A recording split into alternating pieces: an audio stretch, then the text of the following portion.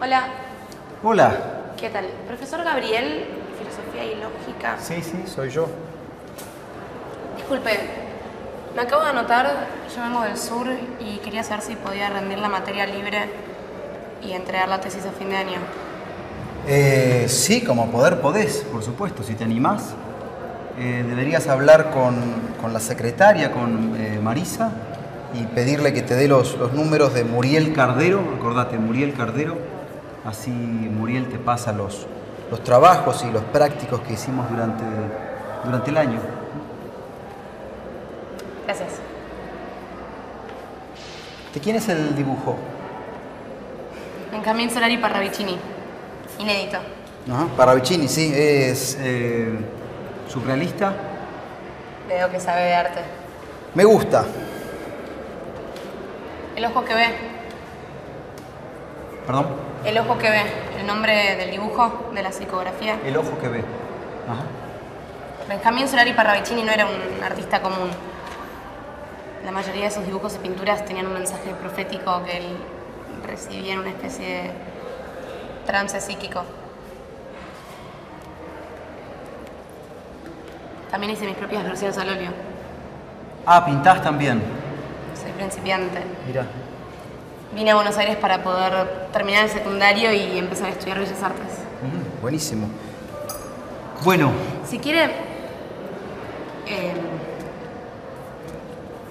un conocido me consiguió un lugar en una pequeña galería de arte. Si le interesa, sí, claro, por supuesto.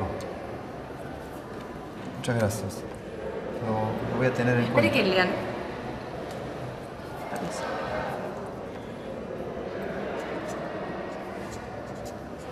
Cualquier cosa.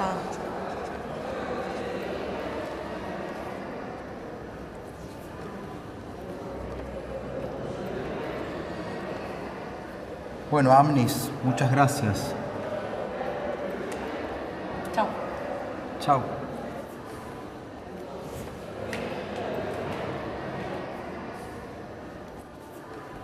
Cuenta la historia de Gabriel Antonio Viravent, un profesor de filosofía y lógica de la secundaria nocturna, que atraviesa problemas conyugales, y que al conocer a una nueva y joven alumna, Belén Chaván, quien desaparecerá súbitamente luego de acercarlo a los dibujos proféticos de Benjamín Solari Parravicini.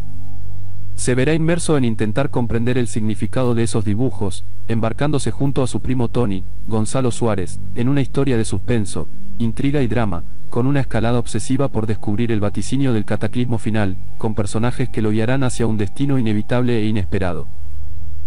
Parravicini, el Nostradamus argentino, nació el 8 de agosto de 1898, en Buenos Aires y murió en 1974. Su madre, Dolores Parravicini Noriera, era prima hermana del actor Florencio Parravicini y su padre, Benjamín Tomás Solari, llegó a ser diputado nacional.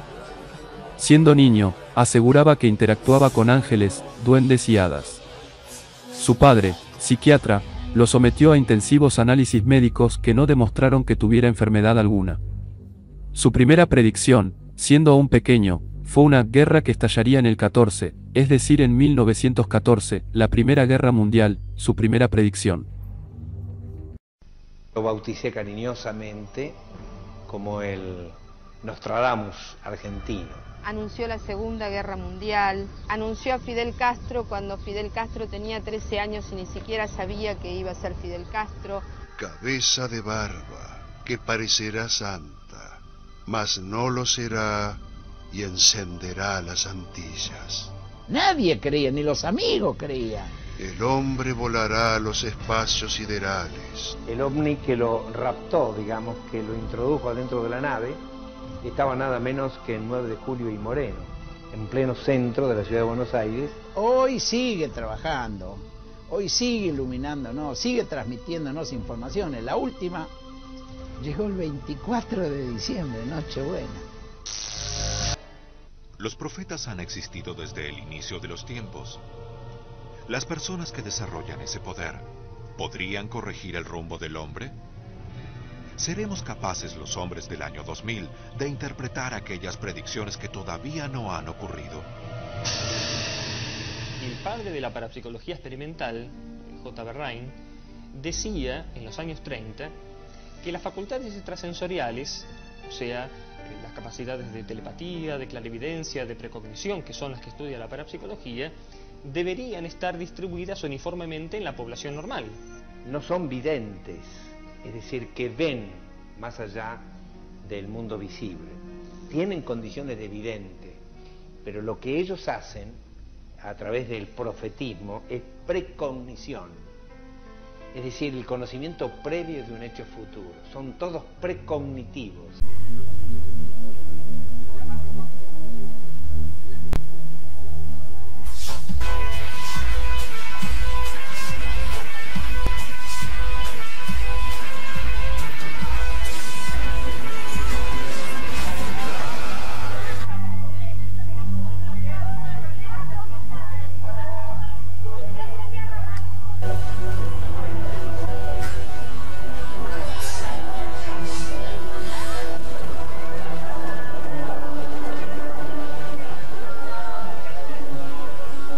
La capacidad inteligente de la máquina pensante dominará el mundo y será raza mundial. Hola. Hola. Perdón, eh, ¿qué dijiste? Es el mensaje que acompaña el dibujo original. La capacidad inteligente de la máquina pensante dominará el mundo y será raza mundial.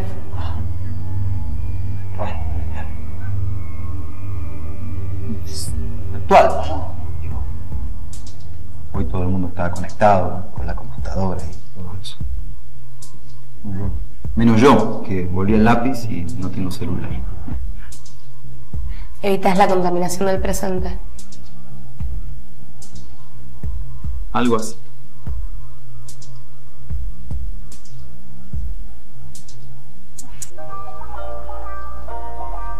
Esta ya se cumplió. ¿Qué ves? ¿Qué veo? Eh, bueno, parece la estatua de la libertad, partida en medio y, no sé, de trazos más, más rectos, ¿no?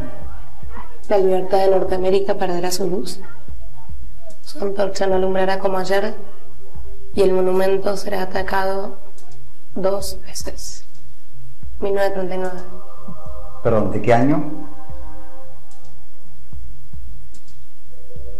Benjamín Solari Parravicini describió el ataque a las Torres Gemelas en 1939.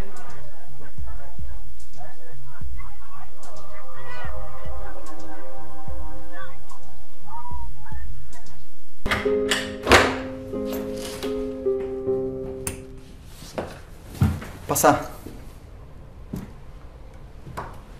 Te dije que es un lugar un poco vacío, pero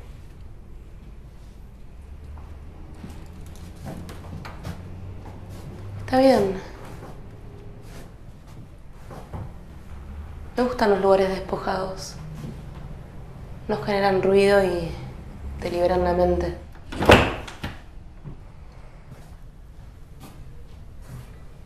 sí.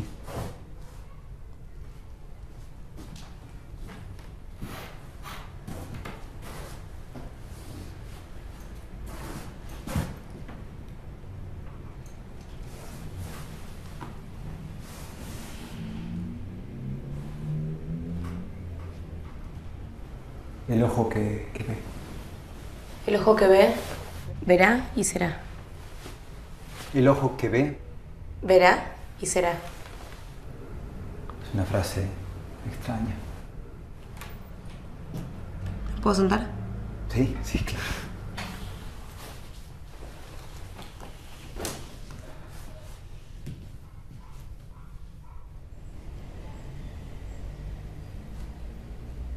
Feng Shui.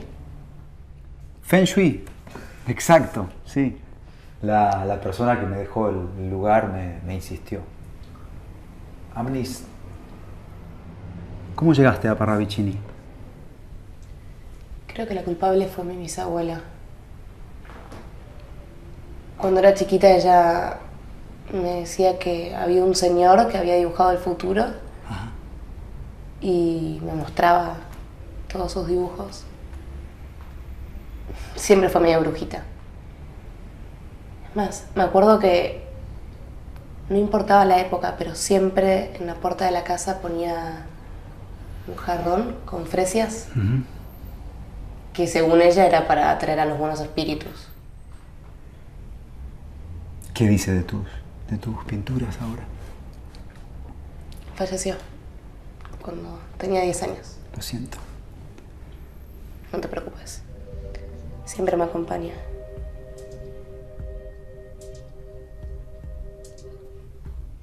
¿Y tus dibujos? ¿Tus pinturas? Mis pinturas. ¿Las tenés acá? Ajá. ¿Quieres verlas? Sí. Está bien. Está bien. Pensá que tienen, no sé, 20 años. No, más. Algunas. Algunas más. Por acá están.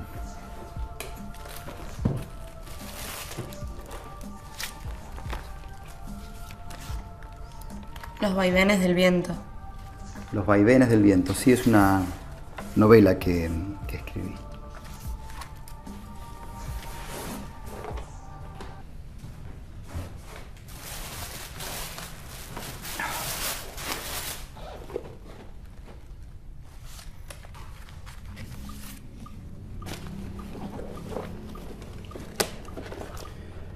Acá están.